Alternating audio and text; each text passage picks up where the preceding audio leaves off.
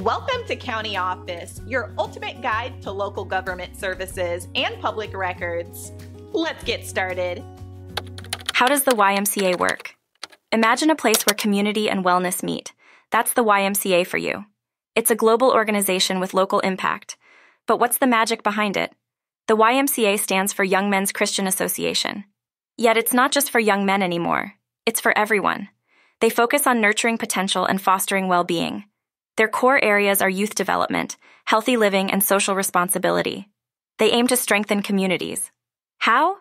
By providing resources and programs for all ages. Each local YMCA operates autonomously. They tailor services to meet community needs.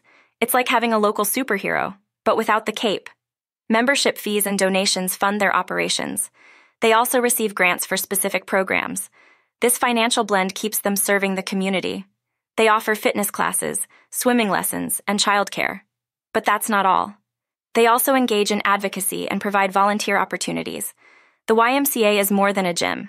It's a community hub. It's a place where you can grow, learn, and connect. And it's been doing this since the 19th century. So the next time you pass by a YMCA, know it's a treasure trove of community goodness. Ready to dive in? Check out your local YMCA and see what's on offer.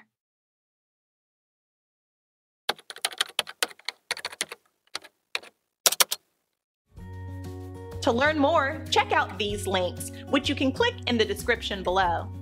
And feel free to comment your questions. We're here to help. Thanks for tuning in to our video. Please like and subscribe and leave a comment below. See you in the next video.